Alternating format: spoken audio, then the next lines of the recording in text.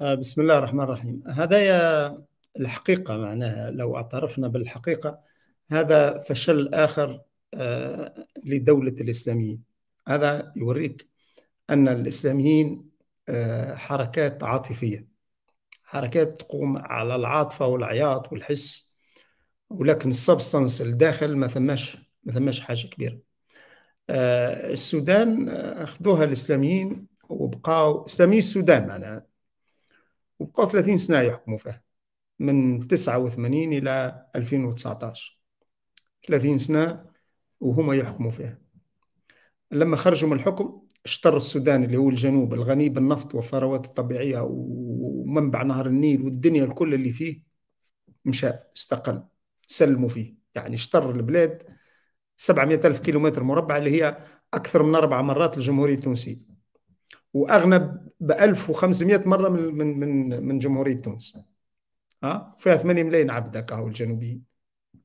لل... لل... للأسف معناها جنوب السودان هذيك هي جنوب السودان اللي هي المنطقة اللي فيها الثروات الحقيقية وفيها أكثر من 80% من نفط السودان. هذه الخسارة الأولى.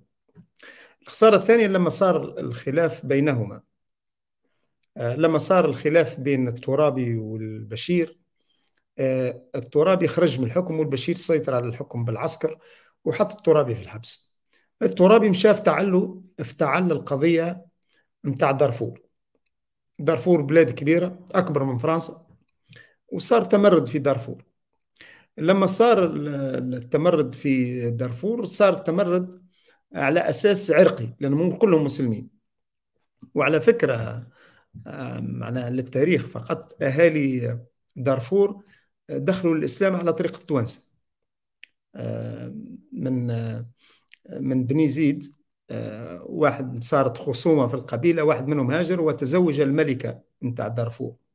تزوج الملكة ودخلها للإسلام ونشر الإسلام في منطقة دارفور. أنا ودارفور الحاكم تاعها اللي اسمه كان علي بن دينار اللي مسمي عليه أبيار علي لما تخرج من المدينة المنورة في اتجاه في اتجاه مكة وتعمل الإحرام ميقات أبيار علي هو علي بن ابن دينار اللي هو بنى البقعة ذيك اللي هو كان آه، حاكم آه، دارفور. دارفور عمل فيها الترابي وجماعته عملوا فيها تمرد تمرد ضد الحكومة المركزية. وفي نفس الوقت مشى الترابي تحالف الله يرحمه على كل حال بفعله مشى تحالف مع جارينج في الجنوب. وبداوا المطالبة باستقلال الجنوب. يعني قال أنا مع تقرير المصير إلى آخره. الحكومة المركزية حركت بعض القبائل العربية اللي هم كانوا اسمهم الجنجويد. الجنجويد هو مصطلح أصله جن, جن على جواد لأنهم كانوا فرسان. هذا حميتتي هذا آه، حول بعد فترة لما هدأت الأمور شوية تحولوا الجنجويد إلى قوات الدعم السريع.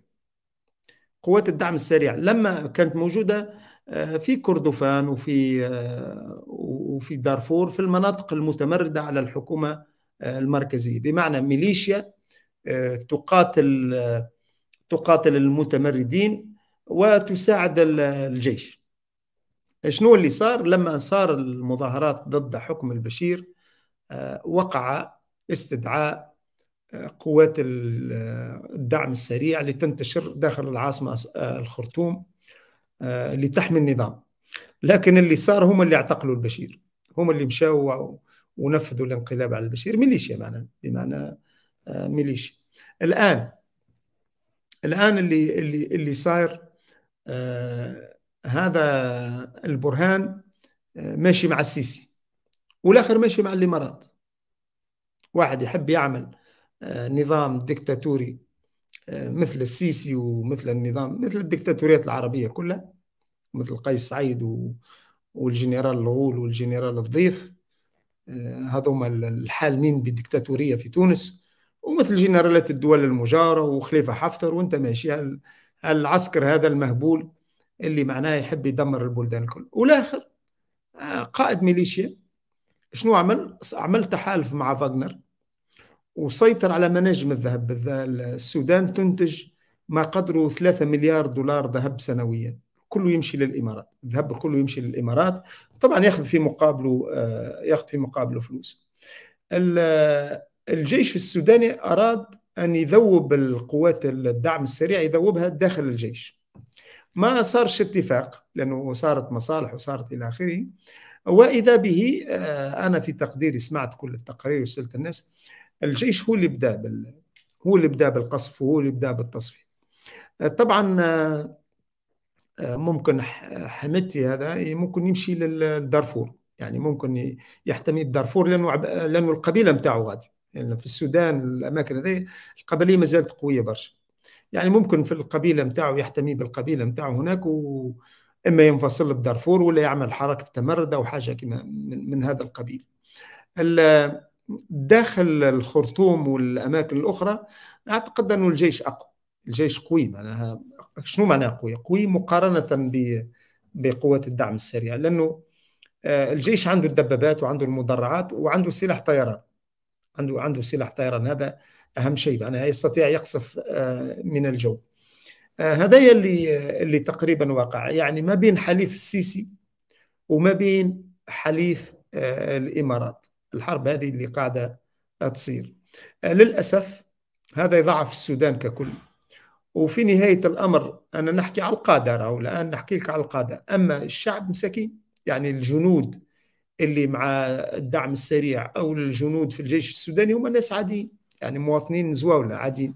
مثل الزواولة الموجودين في الجيش المصري في الجيش الليبي في الجيش التونسي. كلها ناس زواولة يعني تاكل في الخبز؟ ما واحد آه، دخل الجيش قال شنو أنا باش ننصر الفكرة هذه؟ ونصر الناس مشت قاعدة خدمة غادي. وجيش وطني وإلى آخره. لكن للأسف الرؤوس الرؤوس نتاعها الرؤوس فاسدة ما تصلحش. هذه هي اللي قاعدة تدمر في البلدان. هذا تقريب آه، اللي صار في السودان. الناس الكل كانت متوقعة يعني ماهوش ما جتش حاجة ما جتش حاجة معناها كما تقول فجأة. فجئية لا ما ليست ليست فجئية. الناس الكل كانوا منتظرين لأنه زوز قوى آه، عندهم السلاح وما تفهموش كيفاش باش يحلوا العركة نتاعهم ماشي يحلوا العركة نتاعهم آه، بالاسلحه يعني آه، قبل لما كان الجيش التونسي مستقل تصير مظاهرة ومظاهرة مضادة وتصويت وعرق وضرب ومضروب وإلى آخره. لكن حدوا البرلمان حدوا شوية معناها في مظاهرة ومظاهرة مضادة إلى آخره. لكن لما قيس سعيد مشى للثكنات ولم الجيش وراه شنو هو؟ وقتها وقتها ما عادش نحاورك. أنت تعمل لي فصل قانوني و... وتعديه لي و... ومعناها وتعمل عليه تصويت. إيه أنا تحب نفصل كل شيء نجيب دبابة نسكر بها نسكر بها البرلمان. أنا تولي تولي لغة السلاح. ولما تجي لغة السلاح آه، تنتهي لغة السياسة. يعني يعني هي مواصلة للصراع بوسائل أخرى غير الوسائل السلمية السياسية. الآن هم دخلوا في هذا. آه، وين باش يمشوا؟ هم ماشيين نحو كسر العظم باش يكسروا عظم بعضهم. وأعتقد أن هناك ضباط داخل الجيش يريدوا ينتهوا من الموضوع هذا يريدوا أن الدولة يكون عندها جيش موحد. فما جزء آخر اللي هما مع مصر يحبوا يكونوا آه، أقوى. وكل واحد والهدف نتاعو ترى معناها داخل